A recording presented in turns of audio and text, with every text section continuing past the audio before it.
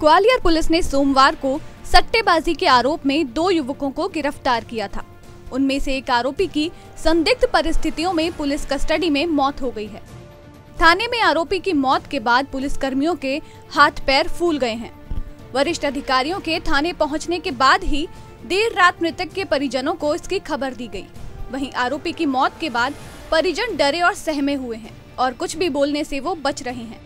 police के मुताबिक पूछताछ के दौरान रात करीब साढ़े नौ बजे सोनू नाम के आरोपी को उल्टी हुई उसके बाद आनंद फानन में पुलिस सोनू को लेकर जया रोग्य चिकित्सालय के ट्रॉमा सेंटर पहुंची जहां नब्ज टटोलते ही डॉक्टर्स ने सोनू को मृत घोषित कर दिया इस मामले में एसपी ने तत्काल जिला एवं सत्र न्यायाधीश को पत्र लिखकर न्यायिक जांच कराने का आग्रह किया है थाना इंदरगंज के तीन आरक्षक एक व्यक्ति दो व्यक्तियों को लेके आए थे और ये सूचना मिली थी कि ये सट्टा खेलते खिलाते हैं थाने ला के इनसे पूछताछ की जा रही थी उसी दौरान एक व्यक्ति जो है उसको कुछ घबराहट लगी नीचे आके उसने पानी पिया उल्टी की और उसकी ज़्यादा तबीयत ख़राब हो गई तो उसको जे अस्पताल ले गए और जहां उसको डॉक्टरों ने मृत घोषित किया चूँकि ये दो ढाई घंटे के करीब पुलिस की कस्टडी में रहा है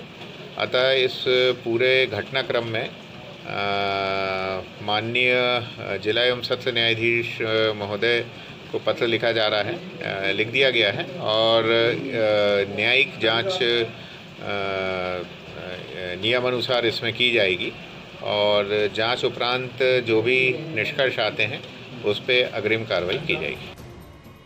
इस मौत के बाद पुलिस महकमे में हड़कंप मच गया है साथ ही ये भी संदेह जताया जा रहा है कि सोनू की मौत पुलिस की पिटाई की वजह से हुई है आपको बता दें कि मृतक सोनू के एक बेटा और एक बेटी है और उसके पिता गोपाल दास अपने छोटे बेटे मोनू के साथ रहते हैं सोनू की मौत के बाद मोनू भी इस मामले में कुछ बोलने से बच रहा है ये तो खैर पता नहीं है क्या हुआ था तो भी कौन थे तुम्हारे भैया साहब थे मेरे साथ क्या सूचना मिली है थाने से आपको मेरे को तो पता नहीं है पापा जी को पता मैं तो आते ही जा रहा हूँ अभी तक अच्छा हाँ अभी हैं वो कौन पापा जी नहीं तुम्हारे भाई भैया साहब पता नहीं है मेरे को अच्छा, क्या बताया पुलिस ने मेरे को कुछ नहीं मालूम सर मैं तो आते ही जा रहा हूँ मेरे को कुछ सट्टे के आरोपी की पुलिस कस्टडी में हुई मौत को पुलिस अधिकारी भी संदिग्ध मान रहे हैं फिलहाल शव को पोस्टमार्टम के लिए भेज दिया गया है पोस्टमार्टम रिपोर्ट के बाद ही मौत की असली वजह का पता चल पाएगा